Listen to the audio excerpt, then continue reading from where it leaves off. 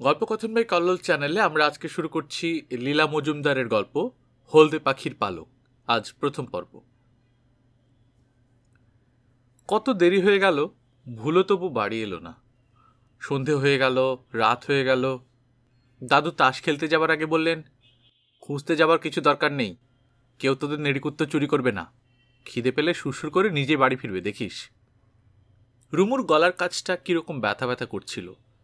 কখন ভুলোর খাবার সময় হয়ে গেছে? বারান্দার কোনায় ভুলোর থালায় দুধ রুটিগুলোকে নীল মতো দেখাচ্ছে। পিঁপড়েরা এসেছে। জানলার শিকের সঙ্গে ভুলোর চেনের আগায় কলারটা আটকানো ছিল। খুব মজার দেখাচ্ছিল। ভারী দুষ্টু ভুলো। কলার আটবার সময় কান খাড়া করে গলা ফুলিয়ে রাখে। তারপর যেই না সবাই চলে যায়, কান চ্যাপটা করে গলা শুরু করে কলারের মধ্য থেকে শুরুত করে বেরিয়ে পড়ে দেড় ছুট। কেন ভুলো পালিয়ে যায়? দাদা চেন কলার আর একটা বেটে লাঠি হাতে নিয়ে গেটের কাছে দূরে রেললাইনের ওপারের দিকে তাকিয়ে দাঁড়িয়েছিল। রুমুকে দেখেই রেগে গেল। যা, ঘরে যা। এখানে কেন এসেছিস? যা ভাগ। দাদা, বোধহয় সে সাঁওতাল গ্রামে গেছে। ওরা যদি মারে? বেশ হবে, ঠিক হবে। আমি খুব খুশি হব। পালানো বেরোবে। আসুক না বাড়ি। পিটিয়ে মজা বের করছি। যা, পালা। ছিচকা রুমু আবার পেছনের বারান্দায় গেল। এমনি সময় ভুলো বাড়ি এলো। অন্য দিনের মতো সামনের গেট দিয়ে দৌড়ে দৌড়ে নয়। রান্নাঘরের পেছন দিয়ে দেয়াল ঘেসে ঘেসে ল্যাজ নামিয়ে, কান ঝুলিয়ে, আট চোখে তাকাতে তাকাতে স্রেফ একটা চোরের মতো এসেই রুমুর পায়ে মুখ রেখে ল্যাজ নাড়তে লাগল। রুমুর মুখে কথাটি নেই, গা শিরশির করতে লাগল। জানলা দিয়ে খাবার ঘর থেকে আলো এসে ভুলোর গায়ে পড়েছে। সেই আলোতে রুমু দেখতে পেল ভুলোর ঠোঁটের কোণে ছোট্ট একটা হলদে পালক গুজে রয়েছে। সোনার মতো জলজল করছে। রুমুর বুকটা ধড়াস করে উঠল। এক দৌড়ে দাদার কাছে গেল। দাদা, ভুলোর ঠোঁটের কোনায় সেরকম হলদে পালক। যা, দূর, হলদে পাখি ঝগড়ুর বানানো। না, দাদা, তুমি দেখবে এসো। ভুলো মাটির ভাঁড় থেকে জল খাচ্ছিল। হলদে পালকটা ভাঁড়ের জলে ভাসছিল। ভিজে একটু চুপসে গিয়েছে। কিন্তু তখনও সোনার মতো জলজল করছে। বগি পালকটা তুলে মুছে পকেটে রেখে দিল। কারও মুখে কথা সরে না। কোথাও একটু আওয়াজ নেই। শুধু মাথার উপর একটা রাতের পাখির ডানা নাড়ার ঝটপটি আর দূরে কুশি দিদিদের পোড়ো জমির ঝাউ গাছের পাতার মধ্যে দিয়ে শোঁশো করে বাতাস বইছে আর রুমু বগির বুকের ধুকপুকি। তবে এবার তো ঝগড়ু মিথ্যা কথা বলেনি। দারুণ গাজাখুরি গল্প বলে ঝগড়ু। দুমকায় ওদের গায়ে নাকি হয় না এমন আশ্চর্য জিনিস নেই। সেখানে সীতাহার গাছের পেছনে সূর্য ডুবে গিয়ে যেই তার লাল আলোগুলোকে গুটিয়ে নেয়, অমনি নাকি আকাশ থেকে সোনালি রঙের অবাক পাখিরা বটফল খেতে নেমে আসে। তারা ডাকে না, কারণ তাদের গলায় স্বর নেই। তারা মাটিতে বা গাছের ডালে বসতে পারে না, কারণ তাদের পা নেই। এমনি উড়ে ফল খেয়ে আবার আকাশে চলে যায়। কিন্তু দৈবাত যদি একটা পাখির ডানা জখম হয়ে সে মাটিতে পড়ে যায়, আর ঠিক সেই সময় যদি তাকে শেয়ালে কি কুকুরে খেয়ে ফেলে, তাহলে সেই শেয়াল কি কুকুর মানুষ হয়ে যায়। তাই শুনে বগি বলেছিল, যা ঝগড়ু, যত রাজ্যের বাজে কথা, জানোয়ার কখনো মানুষ হয়? বিশ্বাস না করতে পারো বগি দাদা, কি বা জানো তুমি, জানলে কি আর রোজ রোজ মাস্টারমশাইয়ের কাছে বকুনি খেতে? কিন্তু আমাদের দুমকাতে ওই রকম অনেক মানুষ আছে তাদের দেখলেই চিনতে পারা যায়। কারণ সবটা মানুষের মতো হলেও চোখটা হয় পাটকিলে রঙের আর কানের উপর দিকটা হয় একটু ছুঁচলো। নেই ওরকম মানুষ তোমাদের এখানেও? কেউ চোখেও দেখে না ও পাখি, কিন্তু ওই মানুষদের দেখলেই সব বোঝা যায়। পণ্ডিত মশাইয়ের গিন্নি রোজ সন্ধেবেলায় দাদুর বাড়ির পাঁচিলের তলা থেকে আমরুল পাতা তুলতে আসেন। মাঝে মাঝে আমরুল তুলতে তুলতে চোখ উঠিয়ে রমুকে বলেন, আয়, তুলে দে, আমার গেটে বাত। এসব তোদের কচিহাড়ের কাজ। ততক্ষণে সূর্য তালগাছের গুড়ির কাছে নেমে গেছে, ছায়াগুলো লম্বা হয়ে গেছে। পণ্ডিত মশাইয়ের গিন্নির চোখে আলো পড়ে চকমকি পাথরের মতো ঝকঝক করে। পাটকিলে রঙের চোখের মনি তার মধ্যে সোনালি রঙের সবুজ রঙের ডুরি ডুরি কাটা মনে হয়। মাথার কাপড় খসে যায়, ঝিনুকের মতো পাতলা কান, উপর দিকটা গোল না হয়ে খোঁচা মতন। ওরকম লোক এখানেও আছে। দিদিমা এসে বলেন ও, চাঁদের তাহলে বাড়ি ফেরার মর্জি হয়েছে? কে জানে, হয়তো এবার এ বাড়ির অন্য লোকেদেরও পড়াশোনা খাওয়া দাওয়া ইত্যাদি হবে? মেজমামা সরভাজা এনেছে, জানিস তোরা? ধোঁয়া ধোঁয়া গন্ধ সরভাজা। রুমু তক্ষুনি চলে গেল। বগি অনেকক্ষণ ভুলোর নাক, মুখ, চোখ পরীক্ষা করে দেখল। কই, কিছুই তো হয়নি। তারপর খুব আঁটো করে কলার লাগিয়ে সরভাজা দেখতে গেল। রাতে শোবার সময় মশারি টানাতে টানাতে ঝগড়ু বলল বগি দাদা, ভুলো কিছু খেলো না। চটের উপর শুয়ে খালি ঘুমোচ্ছে। বগি রুমু একবার ঝগড়ুর দিকে তাকালো, কিন্তু কিছু আর বলা হলো না। ঝগড়ুটা ভারী বাজে বকে। এক্ষুনি দাদু টাদুকে বলে একাকার করবে। ঝগড়ু বলল, কে জানে, যা পাজি কুকুর, ঘরের ভাত মুখে রোচে না। কোত্থেকে কি খেয়ে এসেছে কে জানে?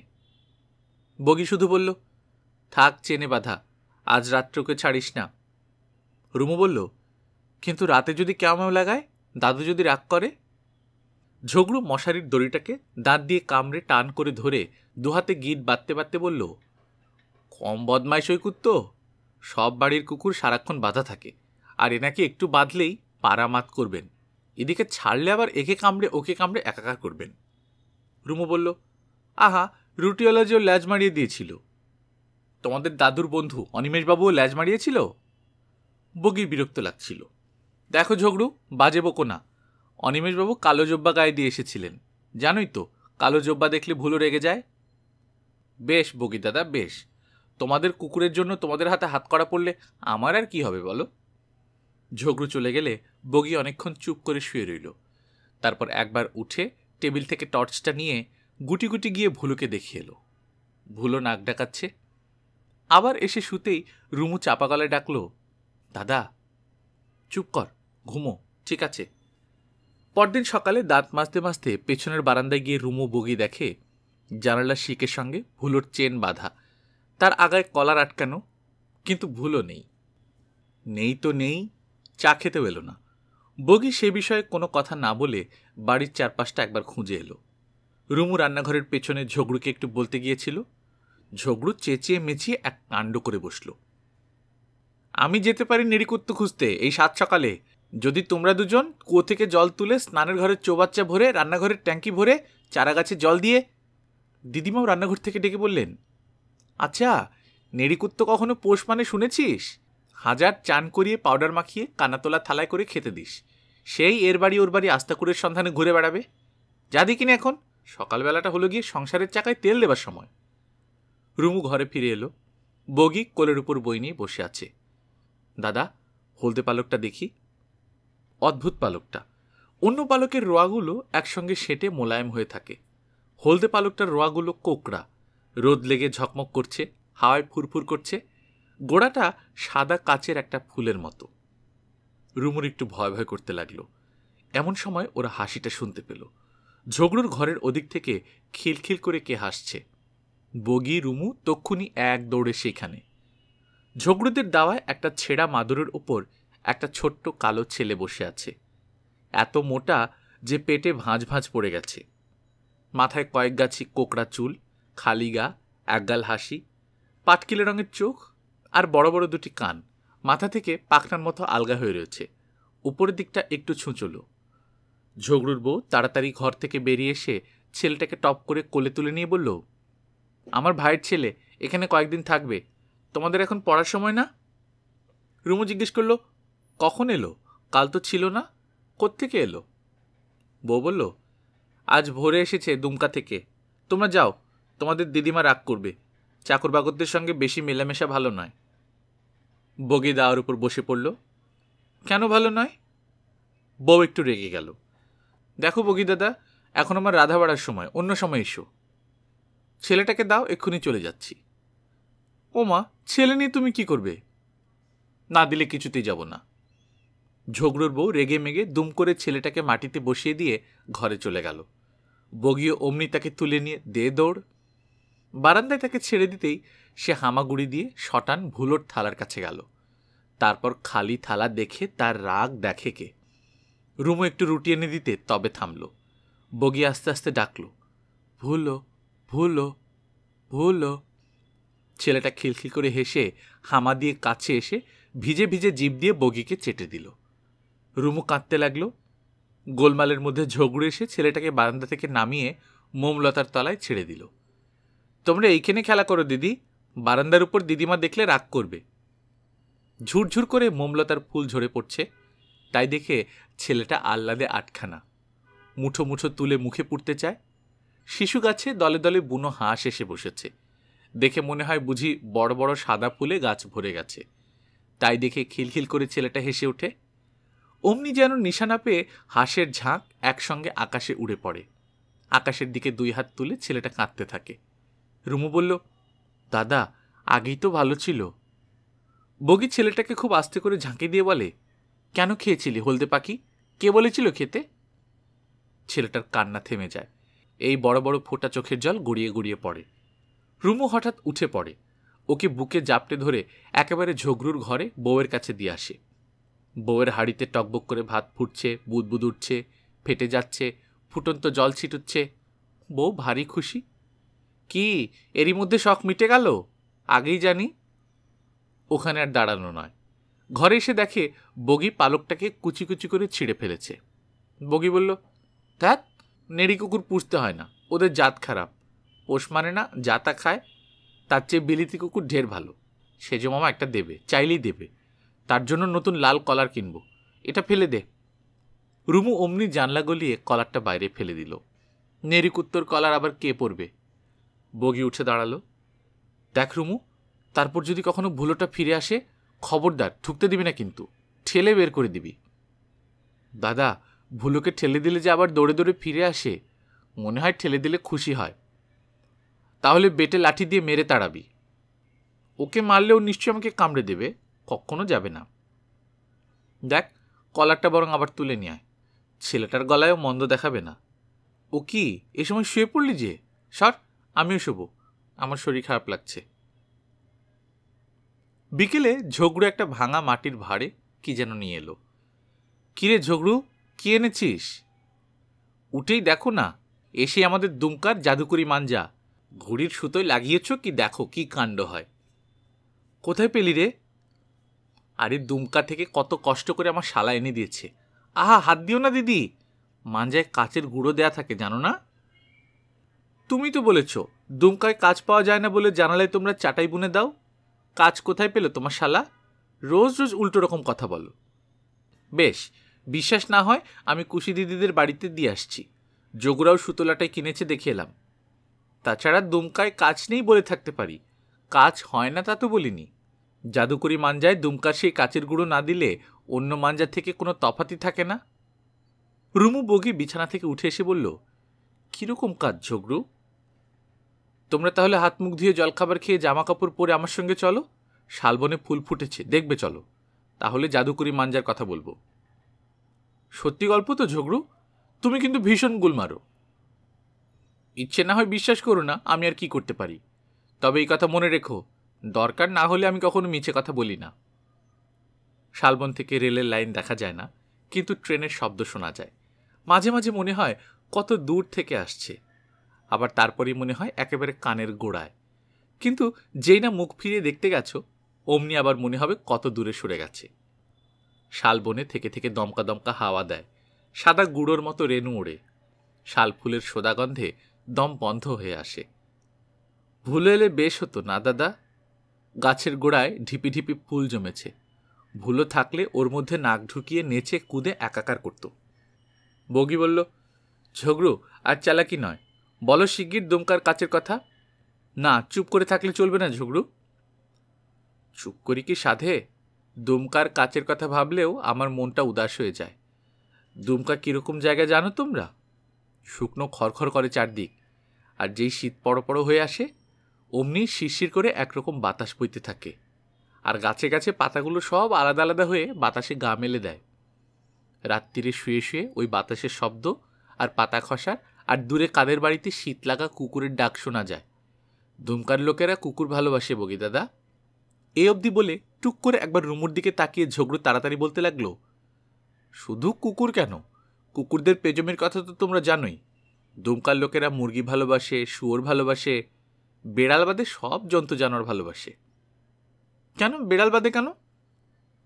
খোলা সত্তর ভালো রুমু দিদি যাদের নখ ঢাকা থাকে আর আলো লাগলে যাদের চোখ ছোট হয়ে যায়, তাদের ভালোবাসতে নেই। দুমকার লোকেরা তাই বেড়াল ভালোবাসে না। বগি বলল, আহ, কি বেড়াল বেড়াল করছ? কাচের কথাটা বলো না। এই বলি শোনো। চাটাই দিয়ে জানালা বন্ধ করে ঝাঁপিঝুপি হয়ে শুয়ে থাকি। শরীরটা গরমের মধ্যে আরামে শুয়ে থাকে। কিন্তু মনটা ওই বাইরে বাইরে শীতের মধ্যে পাতা খসার শুকনো গন্ধের মধ্যে, ঝোড়ো বাতাসের মধ্যে হুহু করে বেড়ায়। কেন? আরে, চারিদিকে অন্ধকার হয়ে গেলে শরীরের চোখ তো বন্ধ হবেই। আর শরীরের চোখ বন্ধ হলে মনের চোখ খুলবে না? যাই হোক, আমার বুড়ো ঠাকুরদা ভাবলেন ঘরে আলো আনতে হবে। জানলায় কাচ দিয়ে দিনে আলো আনতে হবে। প্রদীপের চারদিকে কাচ দিয়ে রাতে আলো আনতে হবে। কিন্তু দুমকায় কাজ কোথায়? কাচের বড় দাম। তখন আমার বুড়ো ঠাকুরদা শাল গাছ, মহুয়া গাছ আর হাজার হাজার মৌচাক শুদ্ধ একটা গোটা বন বেচে দিয়ে শহর থেকে এক বাবু ভাড়া করে আনলেন। সাহেবদের লেখা কেতাব দেখে কাজ তৈরি করে দেবে। তাকে নিজের ঘর ছেড়ে দিলেন, বিরাট চুল্লি করে দিলেন, মাল মশলার পাহাড় বানিয়ে ফেললেন। মুরগি আর গাওয়া ঘি খেয়ে খেয়ে রোগাবাবু মোটা হয়ে গেল। কিন্তু কাজ আর হলো না। কেন হলো না ঝগড়ু? আরে আজ নয়, কাল নয় করে বছর ঘুরে গেল। শেষে বুড়ো ঠাকুরদা একদিন রেগে মেগে তাকে যা নয় তাই বলে বকাবকি করলেন। তারপর সে ঘোর রাত্রে পায়ে হেঁটেই দুমকা থেকে চলে গেল। সারাদিন তাকে খোঁজাখুঁজির পর গভীর রাতে ঠাকুরদা বড় চুল্লিটা জেলে, তার মধ্যে ওই পাহাড় পাহাড় মাল মশলা আর রাশি রাশি সাহেবদের বই সব ঢেলে দিয়ে রাগের দুঃখে সারা রাত বনে বনে ঘুরে বেড়ালেন। ওরে বাবা, বাঘে খেলো না? আরে, তোমরা যে কিছুই জানো না দেখছি। রাগী মানুষদের আর পাগলদের কেউ কিচ্ছু বলে না, তাও জানো না? যাই হোক, সকালে উস্কো খুস্কো চুল আর লাল ভাটার মতো চোখ নিয়ে বাড়ি ফিরে দেখেন চুল্লিশে গনগনে আগুনে সব জ্বলে পুড়ে খাক হয়ে গিয়েছে। কিন্তু তার জায়গায় চুল্লিতে ঠেসে রয়েছে পরত পরত কাজ। আর সবার নিচে উনুনের ছাঁচে ঢালাই হয়ে আছে এই বিশাল একদলা সবুজ গাছ। কাজ কাটে যারা, তারা এলো। জানলা হলো, প্রদীপের ঢাকনি হলো, সব হলো। দমকার দুঃখ তখনকার মতো ঘুচল আর ফালতু কাজ গুড়িয়ে জাদুকরি মাঞ্জায় দেওয়া হলো। দুমকার দুঃখ ঘুচল তো তুমি কেন দুমকাছি রেখে নিলে চাকরি করতে? বললাম না, তখনকার মতো ঘুচল। দুঃখ কি আর চিরকালের মতো ঘুচে বগি দাদা? সমুদ্রের ঢেউয়ের মতো বারে বারে ফিরে আসে। তবে হ্যাঁ এই জাদুকরি মাঞ্জাটাও কিছু কম যায় না। কেন? কি হয় ওতে? সেই কথাই তো বলছি। তা তোমাদের কিছুতেই তর্স হয় না। আচ্ছা ঝগড়ু, সব জানলে কাজ হলো, তবে তোমরা চাটাই লাগাও কেন? সেও এক কাহিনী, রুমু দিদি। ষাট বছর আগে যে বড় ভূমিকম্প হয়েছিল, তাতে দুমকার একটি বাড়িও দাঁড়িয়েছিল না। কাজ টাচ সব গুঁড়ো। এই মাঞ্জা তো সেই গুঁড়ো দিয়েই তৈরি। আমাদের দুমকায় ঘরে ঘরে কৌটো করে সেই কাচের গুঁড়ো তুলে রাখে। মাঞ্জার সঙ্গে একটু করে দেয়া হয়। ফুরিয়ে গেলে তো আর পাওয়া যাবে না, দিদি। চলো, এখন না ফিরলে আধার হয়ে যাবে। সূর্য ডোবার পর এই জায়গাটা অন্যরকম হয়ে যায়। চলো, এখন ফেরা যাক। তাহলে রাত্রে শোবার সময় মাঞ্জার কথা বলবে তো ঠিক? ঝগড়ু দুজনার কোনোই ধরে তাড়াতাড়ি পা চালিয়ে চলল। হ্যাঁ হ্যাঁ সে হবে ক্ষণ। রাত্রে মাংস রান্না হয়েছিল। মোটা হাড়গুলো কে খাবে? তার উপর রুমুর খুব পা কামড়াচ্ছিল। দিদিমা ঝগড়ুকে বকলেন কি দরকার ছিল ওদের শালবন অবধি হাঁটাবার ঝগড়ু বয়সের সঙ্গে সঙ্গে তোমার দেখি বুদ্ধি বাড়ছে। ঝগড়ু কিছু বলল না। ঝগড়ু বোধহয় খুব বুড়ো। কানের চুলগুলো সব সাদা হয়ে গেছে। হাতের অনেকগুলো নখ ভাঙা। শিরাগুলো উঁচু উঁচু হয়ে রয়েছে। রুমু একটা আঙুল দিয়ে ঝগড়ুর শিরায় হাত বুলিয়ে দিল। বগি বলল ঝগড়ু তুমিও চলো। আমরা শোবো, তুমি আমাদের সঙ্গে চলো। হাত ধুতে গিয়ে রুমু একবার কানাতোলা থালাটার কাছে গেল। বগির রাগ ধরল। কি করে আসবে সে? তুই এত বোকা কেন রুমু? হাড়গুলো তুলে এনে থালায় ফেললি? রুমু পা দিয়ে থালাটাকে একটু সরিয়ে বলল, ঝগড়ুবু সন্ধেবেলা ছেলেটাকে কলা চটকে খাওয়াচ্ছিল। আমার বড্ড পা কামড়াচ্ছে, দাদা। রুমু মহা কান্নাকাটি লাগিয়ে দিল। ঝগড়ু অনেকক্ষণ ধরে রুমুর পা টিপে দিল। পা টিপতে টিপতে মাঞ্জার কথাটা বলল, আমরা যখন ছোট ছিলাম বগি দাদা ওই মাঞ্জা সুতোয় লাগিয়ে একদিন ঘুড়ি উড়িয়েছিলাম। সারাদিন লেগেছিল সুতোয় মাঞ্জা দিতে। লম্বা করে দুটি শিশু গাছে বেড় দিয়ে সুতো শুকানো হলো। ঘুড়ি উড়োতে উড়োতে সেই বিকেল হয়ে গেল। আমি আর আমার ভাই ঝুমরু না খেয়ে না দিয়ে সুতো তৈরি করে আকাশে তো ঘুড়ি ছেড়ে দিলাম। ছাড়তেই মনে হলো জ্যান্ত পাখি ছেড়ে দিলাম। ঘুড়ি কাত হলো না, গোত্তা খেলো না শোঁ করে একেবারে শটান মাঝ আকাশে উড়ে গেল। যতই সুতো ছাড়ি, ততই ঘুড়ি উপরে উঠে যায়। ঝুমরু বলল, দাদা, ঘুড়ির কেন ওজন নেই, টান নেই? বাস্তবিকই তাই। এদিকে লাটের সুতো প্রায় শেষ। আমি বললাম, সারাদিন মাঞ্জা দিলাম সব কোটি সুতো যাবে শেষে। থাক, তুই টেনে নামা। কি বলব বগি দাদা, সে ঘুড়ি নামতে চায় না। জোর করে ততক্ষণে সূর্যি ডুবেছে। গায়ের লোক আর যারা ঘুড়ি ওড়াচ্ছিল, সবাই চলে গেছে। তখন ঘুড়ি এসে চোখের সামনে দেখা দিল। দেখা দিল, কিন্তু মাটিতে পড়ল না। তার পা নেই। ঝুমরু আর আমি দেখলাম, ঘুড়ির কলের সঙ্গে জড়িয়ে আছে আশ্চর্য একটা হলদে পাখি। তার পা নেই। মাটি থেকে এক হাত উপরে খালি খালি ফরফর করে উড়ে বেড়াচ্ছে। গলায় স্বর নেই, ডাকছে না। কিন্তু লাল চুনির মতো দুটো চোখ দিয়ে পাগলের মতো এদিক ওদিকে তাকাচ্ছে। বগি জিজ্ঞেস করল, তবে না বলেছিলে কেউ ও পাখি দেখেনি? মিথ্যা কথা বলেছিলাম বগি দাদা, আর কেউ কখনো দেখেনি। শুধু ঝুমরু আর আমি দেখেছিলাম। ঝুমরু তাকে খপ করে ধরে ফেলল। অমনি সে চোখ বুঝে নিঝুম হয়ে গেল। খালি ওর বুকটা ধরাস ধরাস করতে লাগল। কিন্তু যেই না আমি তাকে ধরেছি, আর ঝুমরু তার গলা থেকে সুতোর ফাঁস খুলে দিল, অমনি সে ডানা ঝাপটা দিয়ে আমার হাত থেকে ফসকে গিয়ে তীরের মতো আকাশে উড়ে দেখতে দেখতে মিলিয়ে গেল। তারপর কি হলো ঝগড়ু? তারপর আর কি হবে? ঝুমরু আর আমার দেশে থাকা হলো না। ওই পাখির ডানার ঝাপটা যার গায়ে লেগেছে, সে কি আর ঘরে তিষ্ঠতে পারে বগি দাদা? আজ তুমি ঘুমো বগি দাদা। দেখো, রুমুর চোখ কখন বুঝে গেছে। তারপর দিনও ভুলে এলো না। তারপর দিনও না, তারপর দিনও না। তারপর দিন রুমু বলল ঝগড়ু যে শেয়ালরা কুকুররা হলদে পাখি খেয়ে মানুষ হয়ে যায়, তারা আর জানোয়ার হয় না? ঝগড়ু বলল, একবার মানুষ হলে তারা কি আর জানোয়ার হতে চাইবে দিদি? তবে শুনেছি নিদুলি মন্ত্র দিয়ে সব হয়। তুমি জানো সেই নিদুলি মন্ত্র? জানি আমি সবই। আমাদের দুমকায় ছেলে ছোকরাও নিদুলি মন্ত্রের কথা শুনেছে, কিন্তু করা বড় শক্ত। কেন শক্ত, ঝগড়ু? তার জিনিসই পাওয়া যায় না, দিদি। পাঁচ ঠেঙ্গো মাকড়সা চাই, সোনার উপর মাদুলি চাই। আমি এখন বাজারে যাচ্ছি, দিদি, পরে সব বলব। বাজারে যাচ্ছ, ভালোই হলো। ঝগড়ু, একটু দেখো তো। কি দেখব, দিদি? সেই সেই সোনার উপর মাদুলি যদি পাও, সে কি অত সহজে মেলে দিদি? তাহলে সেদিন সেই একচোখা লোকটাকে তাড়িয়ে দিলে কেন? ওর কাছে হয়তো ছিল। বলল, রক্ত বন্ধ করা মাদুলি আছে, স্বপ্ন দেখা মাদুলি আছে। দেখলে না কেন, ঝগড়ু? আচ্ছা আরেকবার দেখলে তাকে ডেকে আনব ক্ষণ। কিন্তু কি করবে তুমি মাদুলি দিয়ে? বিকেলে হিরে খুঁজতে যাবে তো? হ্যাঁ যাব। হিরে খুঁজবো। আর সেই যে তুমি বলেছিলে, সাপের মাথায় ফুল যে ফুল কখনো শুকোয় না, সেই খুঁজব। খোয়াইয়ের মধ্যেই তো সব পাওয়া যাবে। পাওয়া যাবে কি না জানি না, দিদি। তবে খোয়াইয়ের মধ্যে ওসব খুঁজতে হয়। পেলেই তো মজা ফুরিয়ে গেল। বিকেলে যেতে হয় খোয়াইয়ে। বর্ষার জলে মাটি খেয়ে খেয়ে লাল কাকরের পাঁজরা বেরিয়ে থাকে। ধারে ধারে মনসা গাছ, মাথা উঁচিয়ে কাটা বের করে দাঁড়িয়ে আছে। আলো কমে এলেই রুমুর কেমন মনে হয়, মনসারা আগের মতো চুপ করে দাঁড়িয়ে নেই। মাথা ঘুরিয়ে এদিক ওদিক দেখছে। খোয়াইয়ের মধ্যে কত রকম আশ্চর্য সাদা লাল পাথর পড়ে থাকে। ঝগড়ু বলল, কিছুই বিশ্বাস করো না দাদা, বইয়ে না লেখা থাকলে কিছুই মানতে চাও না। আরে বইয়ে কতটুকুরই বা জায়গায় হয় বলো? আমাদের দুমকাতে একরকম গাছ আছে, তারা চলে বেড়ায়। ফের বাজে বকছো ঝগড়ু? আরে না না, নিজের চোখে দেখা। ছোটবেলায় ঝুমরু আর আমি পাহাড়ে যেতাম ছাগল চড়াতে। আমাদের দেশের জন্তু জানোয়ারদের বড় কষ্ট রমু দিদি, এমনই খরা যে ঘাসগুলি সব জ্বলে পুড়ে যায়। তবে পাহাড়ের উপর বড় বড় পাথরের ছায়ায় লম্বা লম্বা ঘাস থাকে। ছাগলরা তাই খেতে বড় ভালোবাসে। ছাগলরা চড়ে বেড়ায় আর ঝুমরার আমি সারাটা দিনমান এ পাথর থেকে ও পাথরে লাফিয়ে বেড়াই। বাঁশি বাজাই আর পাথরের আড়ালে ঘুমোই। ঝুমরু একটু রাগি ছিল দিদি। একটুতেই মেরে ধরে একাকার করত। কোথায় সে এখন? বগি একটু কাছে এসে বলল, মরে গেছে নিশ্চয়ই? ঝগড়ু রাগ করল। মরবে কেন বগি দাদা? তোমার যেমন কথা। ঝুমরু এখন বদ্রীনাথে পুলিশে চাকরি করে।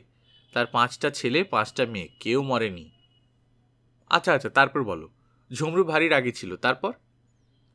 একদিন একটা ছাগল কিছুতেই পাহাড়ে উঠবে না। আমি যতই তাকে ফুসলই, সে উল্টে গুঁতোতে আসে। তখন ঝুমরু রেগে মেগে দিয়েছে তাকে এক লাথি কষিয়ে। ছাগলটা অমনি তরতর করে পাহাড়ে উঠে গেল বটে। কিন্তু পাশেই একটা মস্ত মস্ত শাঁসালো পাতাওয়ালা কাটা গাছ ছিল। ঝুমরুর পায়ে তার একটা এই বড় কাটা গেল বিধে। অমনি চুনির মতো গোল গোল রক্তের ফোঁটা টপটপ করে পড়তে লাগল। আর ঝুমরুর সে কি চেঁচামেচি? রেগে গাছটার গোটা ডালটাই ছিঁড়ে ফেলে দিল। আর তার গা থেকেও একরকম সাদা রস পড়তে লাগল। তারপর ব্যথা কমলে আমরাও পাহাড়ে চললাম। ঝুমরু কি করে? পায়ে ব্যথা। সেদিন আর দৌড়ঝাঁপ করতে পারে না। তখন সে করল কি? মাঝারি পাথরগুলোকে উল্টে উল্টে ফেলতে লাগল। কখনো পাথর উল্টেছ রমদিদি? না তো? কেন? কি হয়? পাথরের তলাকার ছোট বড় পোকারা ঊর্ধ্বশ্বাসে যে যেদিকে পারে পালায়। সে ভারী মজা লাগে দেখতে। কিন্তু ওদের ভারী কষ্ট হয়। কেন কষ্ট হয়? আরে, ওরা অন্ধকারের পোকা, আলো সইতে পারে না। তাছাড়া পাথরের তলাটাই ওদের বাড়ি। বাচ্চা টাচ্চার ডিম টিম নিয়ে সেখানে ওরা থাকে। পাথর উল্টে ফেলে দিলে বাচ্চারা মরে যায়, ডিমগুলো ভেঙে যায়। ইস, ঝুমরু তো ভারী দুষ্টু ছেলে। না, দুষ্টু মোটেই নয়। রমদিদি আমাদের দুমকার ছেলেরা আর যাই হোক, কখনো দুষ্ট হয় না। তবে অতটা ভেবে দেখিনি। আচ্ছা তারপর বলো। তারপর আট দশটা পাথর ওই রকম উল্টে ফেলবার পর ঝুমরুর সে কি চিৎকার। আমি ভাবলাম নিশ্চয়ই পোকায় কামড়েছে। ছুটে গিয়ে দেখি ওর পায়ে আবার সেই রকম একটা কাটা ফুটে রয়েছে। তাকিয়ে দেখি পাশে ঠিক সেই রকম একটা গাছও রয়েছে। শুধু তাই নয়, গাছটার একটা ডালও ভাঙা। আর সেখানে ফোটা ফোটা সাদা রস জমে রয়েছে। কি করে হতে পারে ঝগড়ু? তুমি কি বলতে চাও সেই গাছটাই পাহাড়ে চড়েছিল? দেখো বগি দাদা, তোমাদের সঙ্গে আমাদের এই তফাৎ যে আমরা যা দেখি তাই মেনে নিই। অত কি করে হলো জানতে চাই না। কিছুই মানতে চাও না, এই হলো মুশকিল। আমি একবার খোয়াইয়ের মধ্যে ঘোড়ার কঙ্কাল পেয়েছিলাম। তাও বোধহয় বিশ্বাস করবে না।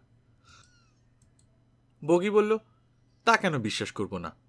একটা সত্যি ঘোড়ায় হয়তো বুড়ো হয়ে খয়ের মধ্যে মরে গিয়েছিল, কিংবা হয়তো কিছুতে মেরে ফেলেছিল, কিংবা পথ হারিয়ে না খেতে পেয়ে মরে গিয়েছিল।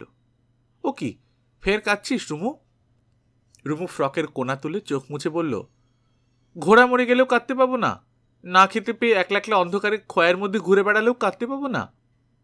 বগি বিরক্ত হয়ে বলল, ফ্রকটা মা রুমু, তোমার পেট দেখা যাচ্ছে। ঝগড়ু ব্যস্ত হয়ে উঠল।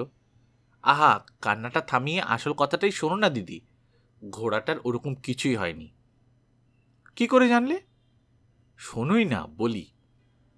ঝগড়ু খোয়াইয়ের মধ্যে একটা ভালো জায়গায় বেছে নিয়ে বসে পড়ল। ওরকম কিছুই হয়নি বুঝলাম, কারণ কঙ্কালটার কাছে গিয়ে দেখলাম, মেলা ইগল পাখির পালক ছড়ানো। ও, তাহলে হয়তো কি ইগল পাখিতে ধরে নিয়ে যাচ্ছিল। পাহাড়ের ওপর ইগল পাখির বাসাতে বাচ্চারা খাবে বলে। তারপর নখ থেকে কি করে খুলে ঘোড়াটা খোয়াইয়ে পড়ে মরে গেছিল। আচ্ছা রুমো, আবার কি হলো? ইগল পাখিতে ধরবে কেন? আস্তে বলে রাখে না কেন? কি মুশকিল, আমাকে গল্পটা বলতে দিবে কি না? ও, গল্প? তাহলে সত্যি নয়। সত্যি নয় মানে? আমার সব গল্পই সত্যি গল্প।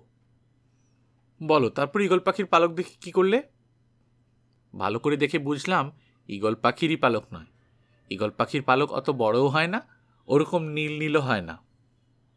তবে বুঝলাম তাহলে ওটা ওরি পালক। ওরি পালক মানে ঘোড়ার আবার পালক হয় নাকি? ঝগড়ু উঠে পড়ল, কি যে বলো, ঘোড়ার পালক হয় না? এবার হয়তো বলবে ঘোড়ার ডানাও হয় না। কঙ্কালটার কাঁধের কাছে দেখলাম মুরগির ডানার হাড়ের মতো বিরাট দুই হাড়। রুমো হাত নিয়ে নিজের মুখ চাপা দিয়ে চাপা গলায় বলল তবে কি তবে কি ওটা পক্ষীরাজ ছিল ঝগড়ু? তা জানি না। তবে শুনেছি পক্ষীরাজরা বুড়ো হলে পুরনো দেহটাকে ছেড়ে নতুন দেহ গজিয়ে নেয়। বগি বলল, না, তুমি ভীষণ গাজাখুরি গল্প বলো ঝগড়ু। নতুন দেহ গজিয়ে নেয় আবার কি? তার তোমাদের এখানে কি হয় না হয় সে বিষয়ে আমি তো কিছু বলতে পারব না। কিন্তু দুমকাতে হয় না তেমন আশ্চর্য জিনিস নেই। আর তাছাড়া টিকটিকি ল্যাজ গজাতে পারে। আর পক্ষীরাজ দেহ গজাতে পারে না বললেই হলো। ঘোড়ার কঙ্কাল তুই এখানে পেয়েছিলে বললে। এখানে পেলে তাকে এখানকার ঘোড়া হতে হবে। আমিও তো এখানে আছি, তাহলে কি আমি দুমকার ছেলে নই? ঠিক এই সময় ওদের কানে স্পষ্ট একটা ঘোড়ার খুরের শব্দ এলো। সবাই অবাক। তারপর পাশের গর্ত মতন জায়গা থেকে হাঁচর পাঁচর করতে করতে উঠে এলো একটা হাড় জিরজিরে সাদা ঘোড়া। তার খুর ছাড়া সবটা সাদা। গায়ের লোম, চুল, ল্যাজ, চোখের পাতি সব সাদা। খালি খুর চারটে আর চোখের মনিটা কুচকুচে কালো। ওদের দেখে ঘোড়াটা চারটে পা এক জায়গায় জড়ো করে থমকে দাঁড়াল। তার সমস্ত শরীরটা থরথর করে কাঁপতে লাগল। চোখের কালো মনির চারধারে অনেকটা করে সাদা দেখা গেল। ঠোঁটের কোনায় একটু সাদা ফেনা লেগে রয়েছে। বুকটা হাঁপড়ের মতন উঠছে পড়ছে। বগি রুমুর মুখে কথা নেই। ঘোড়ার প্রত্যেকটা পাজর গোনা যায়। আর কাঁধের উপর দুটো হাড় অদ্ভুত রকম উঁচু হয়ে রয়েছে। ঝগড়ু ওদের কানে কানে বলল, নড়বে না, খবরদার আওয়াজ করবে না। তারপর দুহাত সামনের দিকে বাড়িয়ে মুখ দিয়ে একটা অদ্ভুত পাখি ডাকার মতো নরম শব্দ করতে করতে ঝগড়ু ঘোড়াটার দিকে এগোতে লাগল। আস্তে আস্তে ঘোড়াটার কাঁপুনি থেমে গেল। চোখ দুটি কালো মখমলের মতো হয়ে গেল। সেও এগিয়ে এসে মাথা নিচু করে ঝগড়ুর হাতের তেলোয় মুখ গুজে দিল। ঝগড়ু অন্য হাতটা দিয়ে তার পিঠে হাত বলতে লাগল। এবার তোমরা কাছে আসতে পারো, দিদি। ও আর কিছু বলবে না। কিন্তু সামনে দিয়ে এসো। ঘোড়ার পেছন দিক দিয়ে কখনো আসতে হয় না। তুমি এত কথা কি করে জানলে, ঝগড়ু? ঝগড়ু মুখটা তুলে দূরে যেখানে গাছের পিছনে সূর্য ডুবে যায়, সেদিকে চেয়ে বলল, বলেছি তোমাদের, হলদে পাখির ডানার ঝাপটা লেগেছে আমার গায়ে। দেশে আমি তিষ্ঠতে পারি না। কোথায় কোথায় যে সে আমাকে নিয়ে বেরিয়েছে, সে আর কি বলব? বললেও তোমরা বিশ্বাস করবে না। তোমাদের কেতাবে সেসব জায়গার কথা লেখে না। ঘোড়দৌড়ের মাঠে কাজ করেছি আমি পাঁচ বছর।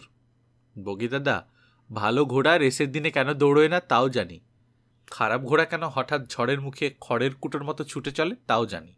চলো, ওঠো, ঘরে যাবার সময় হয়েছে। সাদা ঘোড়াটা দুটো কান খাড়া করে ঝগড়ুর কথা শুনছিল। এবার মুখ তুলে ঝগড়ুর চোখের দিকে চেয়ে রইল। ওর চোখ দেখে মনে হলো যেন কালো দিঘির জল। তার তল নেই, থই নেই। বলো না ঝগড়ু, হলদে পাখির ডানার ঝাপটা লাগলে কেন ঘরে তিষ্ঠনো যায় না? বুকের মধ্যে খানিকটা জায়গা ফাঁকা হয়ে যায়, ফোপড়া হয়ে যায়। দুনিয়াতে হরেক রকম ভালো জিনিস আছে, কিন্তু কিছু দিয়েই আর সেই ফাঁকা ভরানো যায় না বগি দাদা। ঘর ছেড়ে, ঘরের মানুষ ছেড়ে তাই বেরিয়ে পড়তে হয়। চলো, আধার নামছে। কিন্তু তাহলে সাদা ঘোড়ার কি হবে? ওকে বাড়ি নিয়ে গেলে হয় না ঝগড়ু? থাকবে কোথায়? খাবে কি? তোমাদের দিদিমা কেন থাকতে দেবে? তোমার ঘরে থাকবে ঝগড়ু। তরকারির খোসা খাবে। দিদিমা জানতেও পারবে না। রুমু বলল, আর জানলে বা কি হবে? তোমার ঘরে যে কালো ছেলেটা এসেছে। দিদিমা বলেছে কিছু? ঝগড়ু মাথা উঁচু করে বলল, ও তো দুমকার ছেলে। আর তাছাড়া ও হলো পক্ষীরাজ। এদের ঘরে বেঁধে রাখা যায় না। পক্ষীরাজ তো ডানা কোথায়, ঝগড়ু? ঝগড়ু অবাক হয়ে গেল। সব পক্ষীরাজে কি ডানা গজায় ভেবেছ নাকি? দেখছ না, ওর কাঁধের উপরকার হাড় কেমন উঁচু হয়ে রয়েছে? ওর যে ডানার কুড়ি রয়েছে বগি দাদা। ডানার কুড়ি থাকলেও সকলের ডানা গজায় না, গায়ের মধ্যে বন্ধ হয়ে থাকে। একটুখানি জিরুতে দেয় না, সারাটা জীবন জ্বালিয়ে খায়। এই বলে ঝগড়ু ঘোড়াটাকে ছেড়ে দিল। ঘোড়াটাও একবার ঘাড় ঝাঁকি দিয়ে আকাশের দিকে তাকিয়ে একবার চিহি ডাক ছেড়ে পেছনের দুটো পায়ের ওপর একবার দাঁড়িয়ে উঠে খোয়ায়ের ওপর দিয়ে খটাখট শব্দ করে দৌড় দিল। চারটে খুঁট থেকে আগুনের হলকা ছুটতে লাগল। চারিদিকে ধুলো উঠতে লাগল। কাশবনের মধ্য দিয়ে তীরের বেগে ছুটে দেখতে দেখতে সাদা ঘোড়া অদৃশ্য হয়ে গেল। সারাটা পথ কারও মুখে কথা নেই। ভুলো সেদিনও ফিরল না। ঝগড়ুর ঘরে কালো ছেলেটা অঘরে ঘুমুচ্ছে। বগি গিয়ে দেখে এলো। রাতে খেতে বসে দাদু বললেন, কি হে, নেড়িকুত্তর দুঃখ ঘুচল? আনবে নাকি সেজ মামা বিলিতি কুকুরের ছানা? রুমু বগির মুখের দিকে চেয়ে দেখে বগি মাথা নাড়ছে। দিদিমা বললেন, কি জানি, পায়ে পায়ে অষ্টপ্রহর ঘুরঘুর করতো, ভারী বিরক্ত লাগতো। আবার এখন কেমন যেন খালি খালি লাগে। বগি তবুও কিছু না বলে একটা পরিষ্কার চুলের কাটা দিয়ে নলি হাড়ের ভেতর থেকে রস বের করে খেতে লাগল। রুমু বলল, ভুলো ছাড়া আর কাউকে আমরা চাই না, দাদু। রান্নাঘরের পিছনে ঝগড়ুদের ঘর আর রান্নাঘরের পাশে গরম জলের ঘর। সেখানে তিনটে বড় বড় পাথর দিয়ে উনুন করা আছে। তার উপর কেরোসিনের টিনে স্নানের জল গরম করা হয়। ওই উনুনে কয়লার বদলে কাঠ জ্বালানো হয়। কত রকম কাঠ, তাদের কত রকম রং, কত রকম গন্ধ। মাঝে মাঝে কাঠে আগুন লাগলে কেমন একটা শোঁ শোঁ শব্দ হয়। আর সারা ঘর একটা মিষ্টি মিষ্টি গন্ধে ভরে যায়। ঝগড়ু বলে, তা হবে না, ও যে কাঠপরিদের চুলের সুবাস কাঠপরি হয় না ঝগড়ু? কাঠপরি হয় না, এটা একটা কথা হলো বগি দাদা? কোনো রকম পরি হয় না ঝগড়ু, কাঠপরিও না। তবে তোমাদের বইতে লেখে কেন? দিদিমা কাল যে বই থেকে পড়ে শোনালেন। সব বানানো গল্প ঝগড়ু, পরি হয় না না হয় না। বইতেও লিখেছে তবু হয় না। তাছাড়া আমি দেখেওছি। তুমি নিজের চোখে দেখেছ? না, ঠিক নিজের চোখে দেখিনি, আমার বাবা দেখেছেন। তবে কি আমার বাবা মিছে কথা বলেছেন? কোথায় দেখেছেন ঝগড়ু? কবে দেখেছেন? অনেক বছর আগের রুমু দিদি। দুমকার পাহাড়ে দেখেছেন অবশ্যই। তোমরা হয়তো বিশ্বাসই করবে না। না না, ঝগড়ু, বলোই না। তোমার বাবার কাঠপুরি দেখার কথা? ঝগড়ু জল গরমের উনুনে একটা ফিকে সবুজ রঙের কাঠ গুজে দিয়ে বলল, এইরকম কাঠে পরি থাকে। শুকনো মরা কাঠে থাকে না। বলতেই সারা ঘর একটা মিষ্টি ধুনো ধুনো গন্ধে ভরে উঠল। ঝগড়ু বলল, ভালো করে আগুনের মধ্যে চেয়ে দেখো বগি দাদা। যেখানে নতুন ধরেছে সেখানে নয়। যেখানে গনগন করে জ্বলছে সেখানে দেখো। কিছু দেখতে পাচ্ছ না? ঘরবাড়ি, গাছপালা? অমনি রুমু বগিরও মনে হতে লাগল, সত্যি বুঝি আগুনের তৈরি ঘরবাড়ি, গাছপালা দেখতে পাচ্ছে। লাল, একটু একটু নীল। দেয়াল, ছাদ, ডালপালা কেবলই কাঁপছে, নড়ছে, ভাঙছে, আবার গড়ছে। মনে হলো আগুনের তৈরি একটা শহরই দেখতে পাচ্ছে। বগি চোখ ঢেকে বলল শুধু কাঠ জ্বালালে নয়, ঝগড়ু। আমি কয়লার আগুনও দেখেছি। যুদ্ধ হচ্ছে, শহর পুড়ে যাচ্ছে, বিরাট বিরাট প্রাসাদ ধসে পড়ছে। তা হবে হয়তো বগি দাদা। দুমকায় আমরা কাঠ জ্বালাই। কয়লার কথা তো বলতে পারব না। দাদা, তুমি এত কথা বলো কেন? বলো ঝগড়ু, তোমার বাবার পরি দেখার কথা। বুঝলে, বাবার তখন বয়স হয়েছে। হাড়ের ভেতর শীত আর কিছুতেই যায় না। সারা দিন গোল লোহার চুল্লির ধারে বসে থাকে। হাতের কাছে কাঠের গাদা থেকে থেকে আগুন একটা কাঠ গুজে দেন। ধোয়ায় চারদিক ভরে থাকে। যে আসে তার চোখ জ্বালা করে। তারা বাবাকে শুধু তোমার চোখ জ্বলে না বুড়ো? বাবা বলেন, আরে বুকের জ্বালায় আর টের পাই না, তা আবার চোখের জ্বালা। সারাদিন চুল্লির ধারে বসে থাকেন বাবা, আর কাঠির আগায় বিধিয়ে রাঙা আলু পুড়িয়ে খান। যে আসে তাকেও খাওয়ান। তারা মাঝে মাঝে বলে, রাঙা আলুতে ইঁদুরের দাঁতের দাগ কেন বুড়ো? তোমার খেতে বুঝি ইঁদুর হয়েছে? বাবার চোখে ভালো দেখেন না, রাগ করেন। বলেন, ইচ্ছে না হয় কেউ না। একদিন আগুনের মধ্যে যেই না কাঠির আগায় বিধিয়ে রাঙালু ফেলেছেন, অমনি মনে হলো যেন আগুনের ভেতরকার ঘর বাড়িতে মানুষ আছে। কে যেন রাঙালুটাকে কোলে তুলে নিয়ে ঘুরিয়ে ফিরিয়ে পোড়াতে লাগল। লম্বা দাড়ি কে একজন বুড়ো লোক রাঙা আলুতে কামড় দিল। অমনি বাবা তাড়াতাড়ি কাঠি টেনে আনতেই রাঙা আলুর সঙ্গে সঙ্গে বুড়ো বেরিয়ে এলো। একটুক্ষণ দেখতে পেলেন, তারপরই সে ঝুরঝুর করে বাতাসে মিলিয়ে গেল। বলতে চাও এসব বানানো কথা বগি দাদা শুধু বাবা কেন? বনে জঙ্গলে যারা কাঠ কাটতে যায়, তারা সবাই জানে জঙ্গলে এমন অনেক জিনিস আছে, যাদের কথা কোনো বইতে লেখে না। গাছগাছালির কথা যারা চারটে দেয়ালের মধ্যে বাস করে, তারা জানবে থেকে কিন্তু জন্তু জানোয়ারদের তো মানুষরা ভালোবাসে, তাদের কথা তো জানতে পারে। কে বলেছে মানুষরা জন্তু জানোয়ার ভালোবাসে? একবার হাতি ধরার খেদায় গিয়েছিলাম। দেখলাম সুন্দর সব পোষা হাতি সাজিয়ে রেখে বুনো হাতি ধরা হচ্ছে। ভালোবাসে বললে, যারা দলে দলে গাছপালা ভেঙে হুড়মুড়িয়ে পাহাড়ের গা বেয়ে নামে, তাদের পায়ে শেকল পরিয়ে নিয়ে যাওয়া হচ্ছে দেখলাম। হাতির বাচ্চার ভীষণ কাতুকুতু তা যেন, খরা বুরুষ দিয়ে ঘষে তাদের কাতুকুতু ছাড়িয়ে পিঠে হাওদা চাপানো হয়। তা জানো তা নইলে একটুকু ছুলেই তারা হেসে লুটোপুটি। তোমরা কি এগুলোকে ভালোবাসা বলো? রুমু বলল, আমরা কুকুর ভালোবাসি না দাদা? আমরা ভুলুকে ভালোবাসি। তুমিও তো বলেছ, দুমকার লোকেরা বেড়াল বাদে সব জন্তু জানোয়ার ভালোবাসে? দুমকার লোকেদের কথা আলাদা। একবার দুমকার বনে দাবানোর লেগেছিল। দলে দলে জন্তু জানোয়ার ভয়ের চোটে ছুটে বেরিয়ে এলো। গায়ের লোকেরাও তাদের ঘর বাঁচাতে ব্যস্ত ছিল। জানোয়ারদের কেউ কিছু বলল না। একটা ভাল্লুক ছিল। সেরকম ভাল্লুক কেউ কখনো দেখেনি। তার গলার লোমগুলি ছিল সাদা। মনে হতো বুঝি ফুলের মালা পড়েছে। আর যেমনি তার গায়ের জোর তেমনি তার সাহস। ওর জ্বালায় কারও মৌচাকে মধু থাকতো না।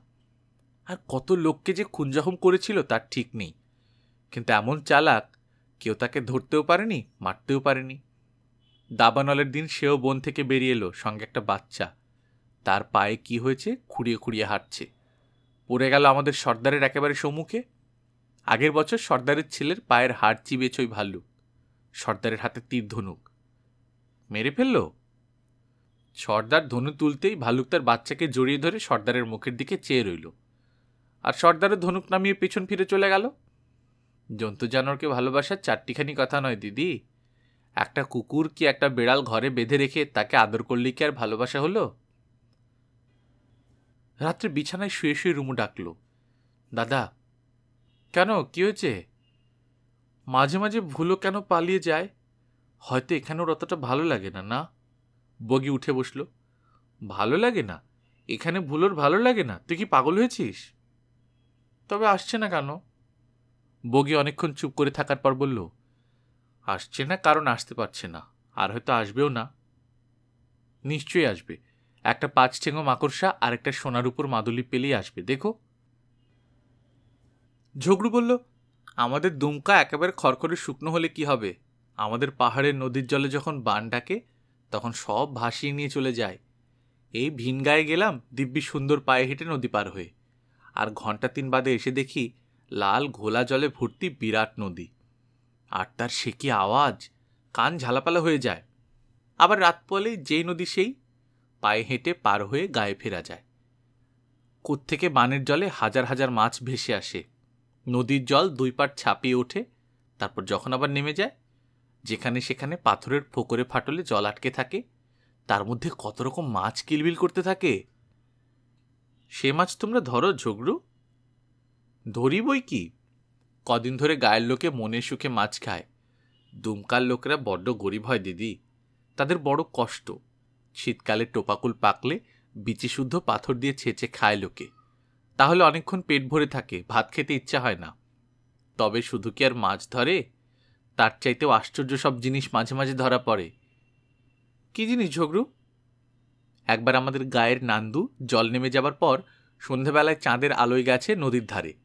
বর্ষা দিয়ে মাছ গাঁদবে তীরের কাছ থেকে। দেখে কিনা চাঁদের আলোয় কি একটা লম্বা জিনিস বালিতে বেঁধে গিয়ে স্রোতের সঙ্গে একটু একটু দুলছে। কাছে গিয়ে দেখে আগাগোড়া আশ্চর্য রকম কারিকুরি করা সাদা রঙের একটা ছোট নৌকো। হাতির দাঁতের কি হাড়ের তৈরি বুঝতে পারল না। নৌকোর সামনের দিকটার গরণ একটা অপরূপ সুন্দরী মেয়ের মতো। কিন্তু তার পায়ের বদলে আঁশে ঢাকা মাছের ল্যাজ। হাত বাড়িয়ে নৌকাটাকে টেনে ডাঙায় তুলতেই নান্দুর চক্ষু চড়ক গাছ। নৌকোর মধ্যে শুয়ে ঘুমিয়ে আছে আশ্চর্য একটি মেয়ে। তার গায়ের রঙও হাতির দাঁতের মতো। হালকা পালকের মতো গড়নটি। চোখ খুলতেই নান্দু দেখল, তার ঘোর নীল রং, পরনে একটা ঘন সবুজ রেশমি কাপড়। চমকে মেয়েটি উঠে বসল। একবার চারদিকে তাকিয়ে দেখল, তারপর এক নিমিষে জলের মধ্যে ঝাঁপ দিল। নান্দু তার আঁচলখানি চেপে ধরল।